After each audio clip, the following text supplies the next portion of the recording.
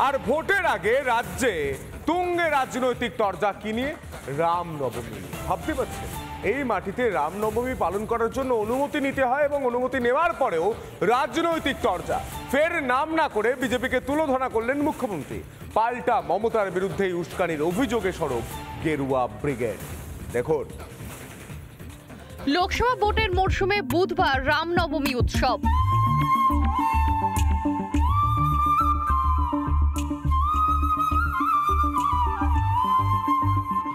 তার আগে এখন থেকেই চড়ছে রাজনীতির পারদ।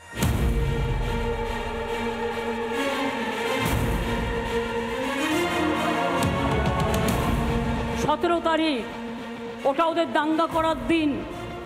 আমি মনে করি ওটা মানুষের সম্মানের দিন হোক। খুব সাবধান।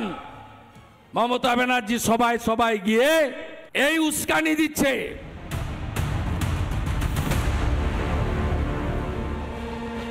শাসক বিরোধীর মধ্যে চলছে বাগযুদ্ধ রামনবমী উপলক্ষে বেশ কয়েকদিন ধরে বিজেপিকে নিশানা করছেন মুখ্যমন্ত্রী। বিভিন্ন মঞ্চ থেকে বক্তব্য রাখার সময় বলছেন, সতেরো তারিখ হিংসা পাকানোর ছক চলছে। আমি সংখ্যালঘু ভাই বোনদেরও বলব, যদি দেখেন স্লোগান দিচ্ছে, সতেরো তারিখ, ওটা ওদের দাঙ্গা করার দিন। আমি মনে করি ওটা মানুষের সম্মানের দিন হোক, ঐক্যের দিন হোক। গালাগালি দিলেও মাথা ঠান্ডা করে আল্লাহর নামে প্রে করবেন, ওদের বিদায় চাইবেন। কিন্তু কেউ কোনো প্ররোচনায় পা দেবেন না। আমাদের শান্তি রক্ষা করতে হবে।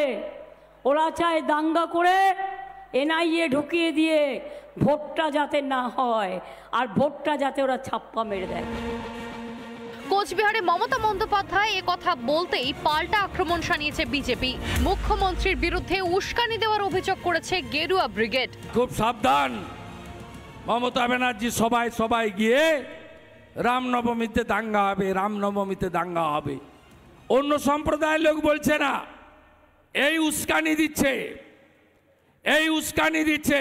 রামনবমীতে সুরক্ষা দেওয়ার দায়িত্ব পালন করতে হবে। মুখ্যমন্ত্রীকে, কারণ তিনি পুলিশ মন্ত্রী। তিনি যদি দায়িত্ব পালন করতে না পারেন, তাহলে তিনি নিশ্চিতভাবে তিনি যদি কেন্দ্র সরকারের কাছে সহযোগিতা চান, তাকে সহযোগিতা করা হবে এবং সমস্ত সুরক্ষার ব্যবস্থা খতিয়ে দেখবার দায়িত্ব কিন্তু মুখ্যমন্ত্রী এদিকে মুখ্যমন্ত্রী যেদিন আইন শৃঙ্খলা পরিস্থিতি নিয়ে আশঙ্কা প্রকাশ করেছেন, সেদিনই আদালতে প্রশ্নের মুখে পড়ল রাজ্য। হাওড়ায় রামনবমীর একটি মিছিলের অনুমতি দিতে গিয়ে সোমবার হাইকোর্ট বলে, মাত্র দুশো লোকের শোভাযাত্রা পুলিশ সামলাতে না পারলে কিছুই বলার নেই। দরকারে কেন্দ্রীয় বাহিনীর সাহায্য নিয়ে রামনবমীর ওই শোভাযাত্রার ব্যবস্থা করবে রাজ্য। আদালত কাছে আমাদের ভরসা, বিশ্বাস ছিল যে আমরা নিশ্চয়ই এখানে আমাদের ধর্মীয় অনুষ্ঠান পালন করা আদালত আমাদের একটা জায়গা করে দিবে। সেই আশাটা মাননীয় আদালত আমাদের পুরো করেছে। এর আগে বারোই এপ্রিলও খারিজ হয়ে গিয়েছিল রাজ্যের আপত্তি। সেদিন শর্ত সাপেক্ষে হুগলির শ্রীরামপুরে রামনবমীর মিছিলের অনুমতি দিয়েছিল কলকাতা হাইকোর্ট। বারবার আদালতে ধাক্কা খাচ্ছে রাজ্য সরকার। ধোপে টিকছে না কোনো কুযুক্তি। তবুও বারবার কেন অশান্তির আশঙ্কা করছেন মুখ্যমন্ত্রী? তাহলে কি ভোটের আবহে লোক খেপানোর কাজ করছে তৃণমূলই? সতেরো তারিখ, ওটা ওদের দাঙ্গা করার দিন।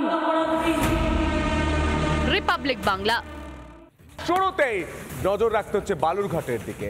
আজ বালুরঘাটের বিজেপি প্রার্থী আজ বালুরঘাটের বিজেপি প্রার্থী সুকান্ত মজুমদারের সমর্থনে প্রচার করতে আসছেন দেশের প্রধানমন্ত্রী নরেন্দ্র মোদী। জানিয়ে উচ্ছ্বাস চোখে পড়ার মতো। আর বালুরঘাট থেকে কি ছবি উঠে আসছে? দেখো লোকসভা ভোটের প্রচারে ফের বঙ্গ সফরের প্রধানমন্ত্রী। আজ একই দিনে জোড়া সভা। বালুরঘাটা রায়গঞ্জে সভা করবেন নরেন্দ্র মোদী। শেষ মুহূর্তে চলছে তারই প্রস্তুতি। উত্তরের মাটি বিজেপির শক্ত ঘাঁটি। উনিশে লোকসভা ভোট থেকেই বদলেছে এখানকার রাজনৈতিক সমীকরণ। ঘাসফুলের বদলে এখন সেখানে পদ্মের আধিপত্য। গত চৌঠা এপ্রিল কোচবিহারে প্রথম ভোটের প্রচার করেন নরেন্দ্র মোদী। তারপর সাত তারিখ জলপাইগুড়িতে করেন সভা। এবার জনসভা উত্তর ও দক্ষিণ দিনাজপুরের দুই জেলা সদরে। লোকসভা ভোটের প্রচারে ফের বাংলায় আসছেন প্রধানমন্ত্রী নরেন্দ্র মোদী। মঙ্গলবার রায়গঞ্জে জনসভা রয়েছে প্রধানমন্ত্রী নরেন্দ্র মোদীর। গত লোকসভা ভোটে সিপিএম এর থেকে রায়গঞ্জ আসনটি ছিনিয়ে নেয় বিজেপি। একদা প্রিয়রঞ্জন দাসমুন্সির গড়ে প্রথমবার ভোটে পদ্ম।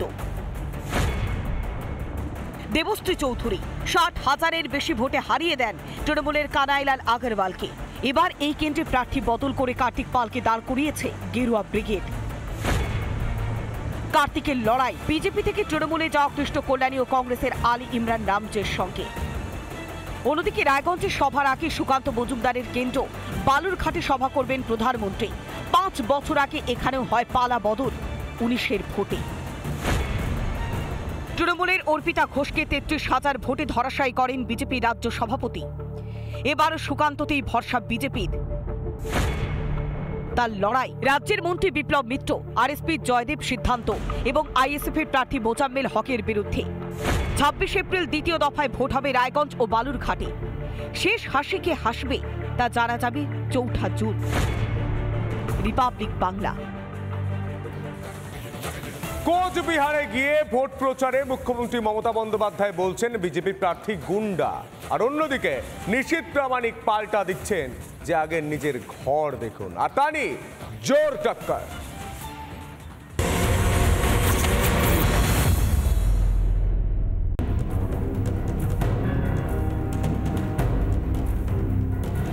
আপনাদের এখানকার যিনি প্রার্থী, তিনি বোয়া কলমে একজন বড় গুন্ডা সর্দার।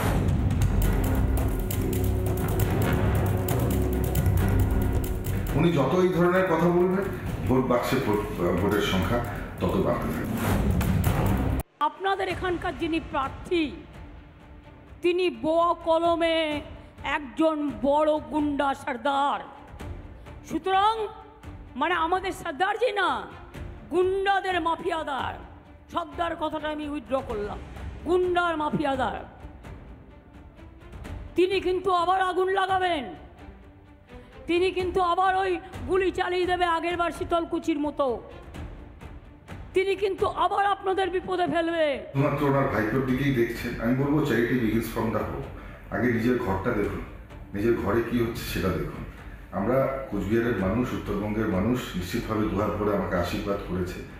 আর কুচবিহারের মানুষ ওনার চাইতে আমাকে বেশি চেনে, কুচবিহারের মানুষ ওনার চাইতে আমাকে বেশি জানেন।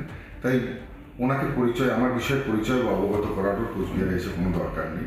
উনি যত এই ধরনের কথা বলবেন, ভোট বাক্সে ভোট ভোটের সংখ্যা তত বাড়তে থাকবে।